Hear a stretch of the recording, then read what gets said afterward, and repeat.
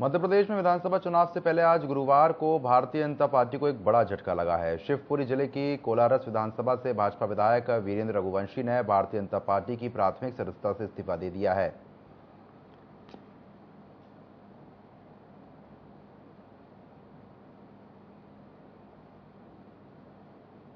सिंधिया के जो मंत्री हैं उनका खामियाजा सरकार को 2023 में उठाना पड़ेगा क्या? निश्चित रूप से उठाना पड़ेगा। हाँ।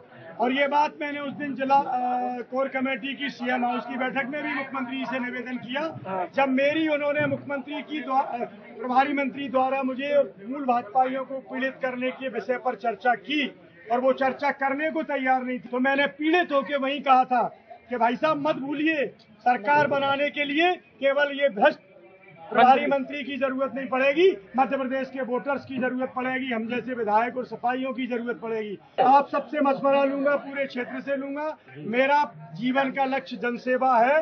मैं राजनीति में नहीं था।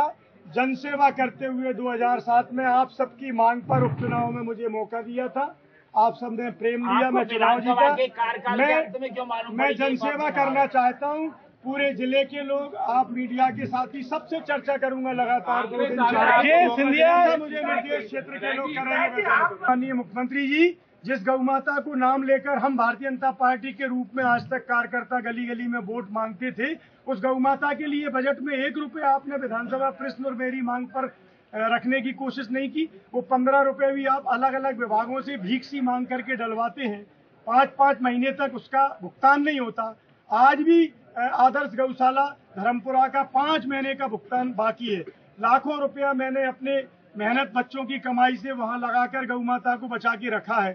तो इस तरह की संवेदनशीलता पर भी ये भारतीय जनता पार्टी का नेतृत्व और भारतीय जनता पार्टी के माननीय मुख्यमंत्री, जो आज तक मेरे मुख्यमंत्री थे, मैं आज उनको नमस्कार करना चाहता हूँ, क्योंकि जनसेवा मेरा लक्ष्य है।